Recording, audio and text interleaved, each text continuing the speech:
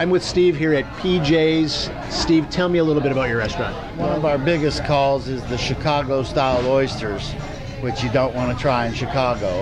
Right. Uh, but they're basted on with garlic butter. They're on the half shell, and uh, they're crusted with Parmesan cheese, and they're baked for four and a half minutes. They melt in your mouth. That's our biggest appetizer call.